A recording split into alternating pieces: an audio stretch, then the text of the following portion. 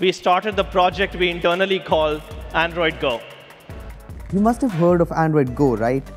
The Android variant meant for entry-level Android smartphones? Well, Google, in preparation for Android Go, has been releasing a number of Go apps that are supposed to be lighter on the resources and also use less data to work flawlessly on smartphones that are priced at like 2 or 3000 rupees. Well, we decided to check out whether Android Go apps actually do what Google says they do.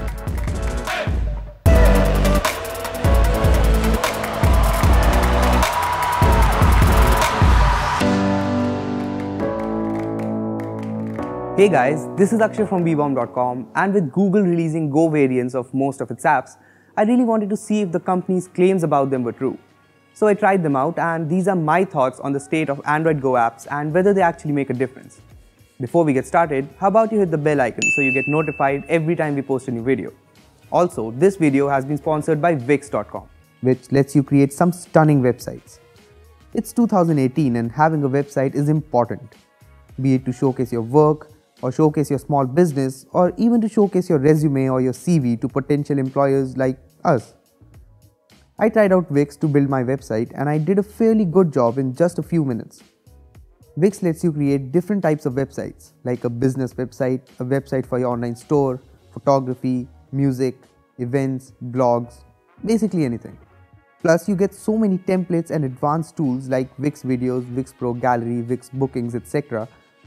Overall, Wix caters to everyone, be it someone who is creating his first website or a professional website builder.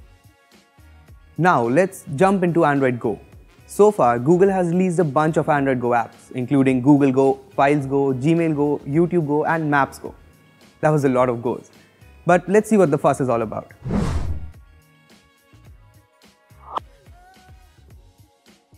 First off, I tried the Google Go app which is supposed to be much lighter on the system while offering the most useful features from the regular Google app. The app is clearly designed to look simple and has features like voice search, maps, GIFs, and even Google Translate. All that for an installed app size of just around 12 MB. In comparison, the regular Google app occupies around 166 MB. That's insane. Sure, Google Go doesn't have features like the Google Feed, but that's really okay considering the space you're saving and a lot of people anyway don't really use the Google feed. Apart from that, Google Go pretty much has every feature that you would expect in the Google app. Not just that, Google Go uses way less RAM than the Google app does. In my tests, I found Google Go used about 61 megabytes of RAM on average, while the Google app used a whopping 250 megabytes. I tested the RAM using ADB, so you can count on the results to be pretty accurate.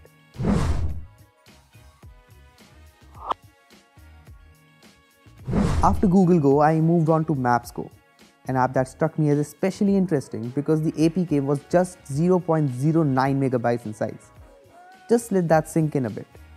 For comparison, the regular Maps app is a massive 48 MB. It's not massive, but as compared to the Maps Go app, well, you get my point, right? The Maps Go app offers a lot of the features from the regular Maps app, including directions and whatnot. That's insane, okay? I mean, Maps Go takes up less than 200 KBs after installing, as compared to Maps, which takes up around 87 to 90 megabytes. However, that insanely small size comes at a big price. The Maps Go app doesn't support navigation. I mean, I can get directions, but I can't go from directions to real-time navigation, and that's a big turn off for me. However, it has that awesome feature from Google Maps web app where you can get traffic information for different times of the day to plan your journey accordingly. I mean, that is one feature I wish the regular Google Maps app had. In terms of RAM usage as well, Maps Go is amazing.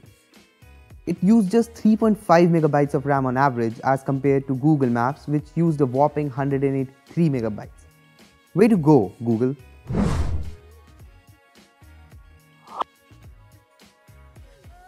The next app I tried out was Files Go which as you may remember got really popular when it launched thanks to its airdrop like file transfer feature. Files Go comes in at around 14 megabytes when installed. In comparison, a third-party file explorer like Solid File Explorer is 22 megabytes when installed. Yeah, the difference isn't all that big, but Files Go more than makes up for it with the features it offers. Right on the home screen, the app offers a number of useful features, including cards to clear out low-res images, duplicate files, app cache, and even an option to uninstall apps that you've not used in a while. All of that fit into a beautiful package. Files Go is honestly a Go app because it helps users carve out more space on the devices. Instead of being mind-numbingly small like Maps Go, Files Go tries to ensure that all those WhatsApp good morning images don't eat up your storage.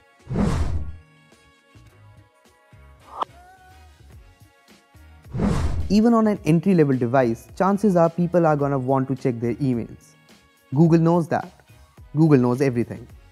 The company also has a Gmail Go app so people can enjoy the ease and simplicity of Gmail on their phones. The Gmail Go app comes in at just 24.8 megabytes. Even on RAM, the Gmail Go app is much less resource heavy as compared to the regular Gmail app. It uses on an average around 77 megabytes of RAM while the regular Gmail app uses over 260 megabytes. Plus it offers all the features from the regular Gmail app in the same interface, so you won't miss out on anything. I mean, it even includes the swipe gestures from the regular Gmail app. Wow, I think I could easily use the Gmail Go app instead of the regular one. Maybe I will. Let's see. Obviously, Google thought of people who want to consume videos on their phones, and that's why the YouTube Go app is there. Well, it's not released yet, but the APK is available for download already. The YouTube Go app is different. I mean, it focuses on saving your mobile data and storage more than anything else, as can be seen in the fact that tapping on a video doesn't play it, but presents options to either play it or download it. It's not very feature rich. It doesn't have all the tabs you'll find in the regular YouTube app, and you can't even subscribe to channels in the YouTube Go app. But it brings one unique feature. YouTube Go users can share downloaded videos with their friends nearby. YouTube Go also takes up a lot less space as compared to the regular YouTube app. While the regular YouTube app is 122 megabytes in size, YouTube Go is just under 30 megabytes and also uses just about 74 megabytes of RAM on an average as compared to YouTube's 103 megabytes. It's awesome. I think it's pretty clear that Google has created some spectacular apps for Android Go Edition phones, a lot of which are expected to come this year, including the Nokia One, which is expected at MWC later this very month. Google's claims about using much less storage than regular apps holds completely true. According to our calculations, the regular versions of these apps took up around 500 megabytes of storage, while the Go variants took up less than 80 megabytes. It's amazing and mind-boggling at the same time. It's obvious that Android phones in the price range of 3 to 5000 rupees might perform very well if they use Android Oreo Go edition. And Google is already in talks with developers to bring light variants of their apps as well. That said, it's not like you can only use these apps on low-end devices. Even if you have a flagship phone, you should definitely give these Android Go apps a try.